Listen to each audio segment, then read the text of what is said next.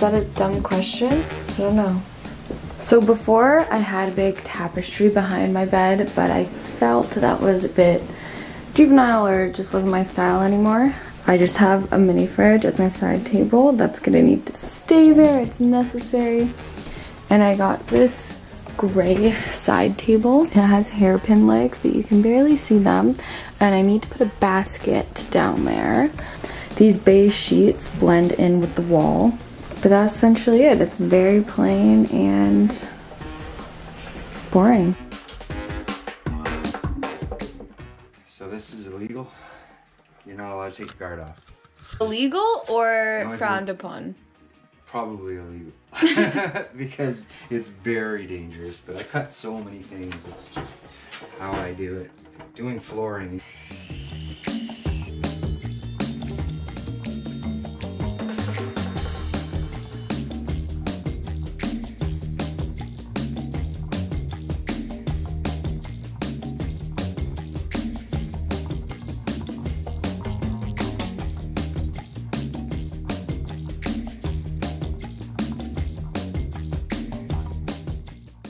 I used a stud finder to discover that the shelf goes across four beams and I have four brackets and I wanted it to be extra secure since it's going to be above my head. I'm measuring out 26 inches below the ceiling.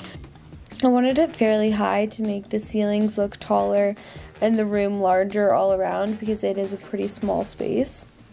I also wanted to leave room for a headboard. I potentially want to DIY a brown leather one, but that's for another day.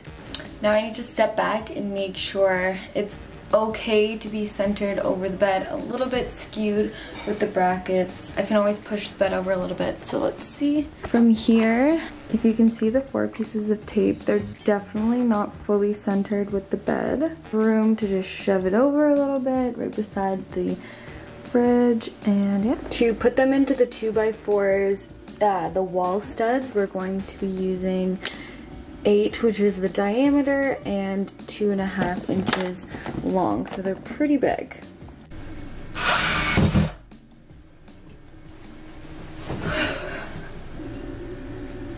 Oh my gosh. No one tells you you have to hold the bracket, the drill, and the screw all at the same time while making sure it's level. So I ended up using just a piece of painter's tape to hold up the bracket.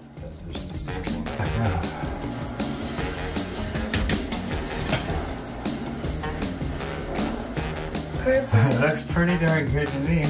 Yes, I wore my ski helmet and GoPro in order to get a different angled shot. So I've just put the wood on it to make sure that if it pushes the anchors down at all, or the brackets down at all, it's going to be completely level. It ended up being very secure.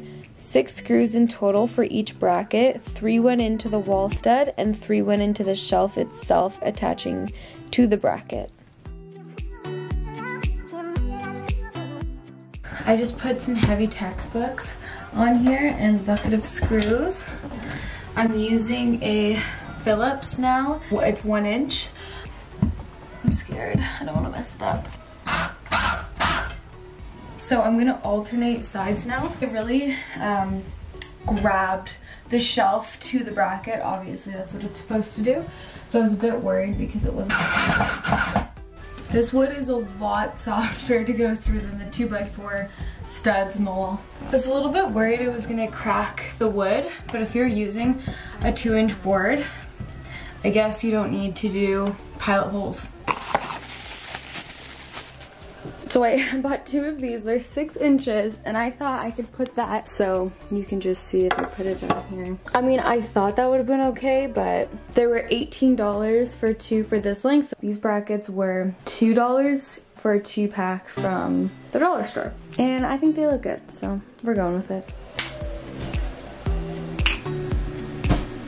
This is bamboo, um, just plain white. It is the softest sheets I've ever owned from HomeSense.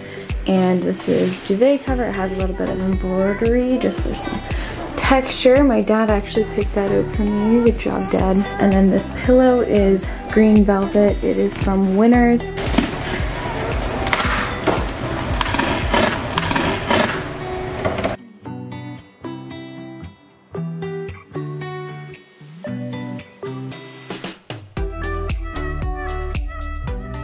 This, you saw me kind of rip apart the back, just a sleeping bear. My childhood dog name was Bear, so it's a little ode to him. I printed it off Google. Sorry to whose ever photo this is. There's a signature. Shout out to you. This I had printed last summer. It is a eucalyptus. I just got it off Google again, took it to Staples, printed it, and then this is an Ikea frame. This frame is from the thrift store. It's pretty heavy. It looks like a rose gold. And then this candle. So I'm gonna try and paint it with a water brush. So if the plants get the water that's sitting down here because there's a hole in the bottom. Are they gonna be poisoned even if the paint's dry? Is that a dumb question? I don't know. And this is the dry painted. It turned out good. I had to do three coats, but these are just some dried uh, leaves from some flowers I got. This pothos I got last summer and it's grown a lot. I have it going up the wall, but I definitely want to use it to hang on the shelf. And I'm working with this.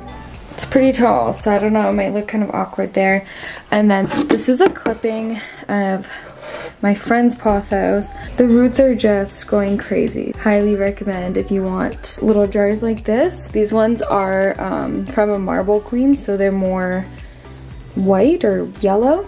Um, and then this is a silver pothos clipping. Yeah, this candle was originally from Walmart and I just took the label off and soaked it and it's that trendy amber color.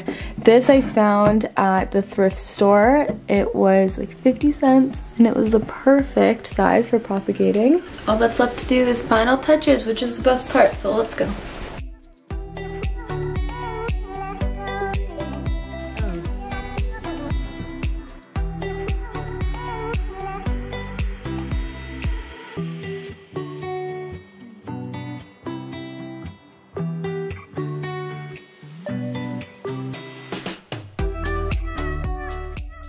I kind of like how there's a bunch of vines over here. So it starts from this pot. The vines go, it stems out in the picture, stems out in the apothecary used candle glass. And then this is the actual plant that's trailing down and trying to cover a little bit of the bracket.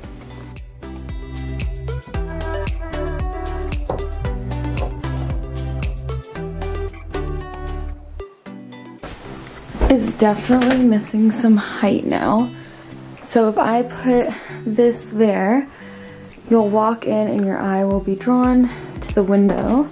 Excuse the bookshelf mess, that's for another day. Cover up that not so cute curtain rod.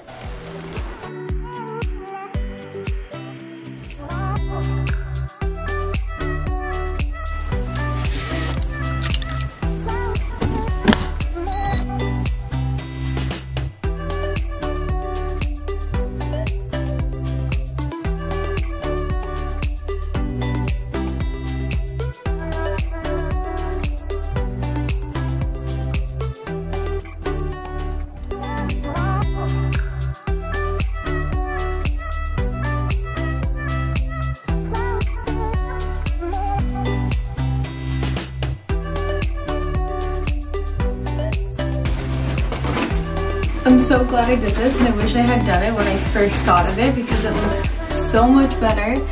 And now it's time to have a nap.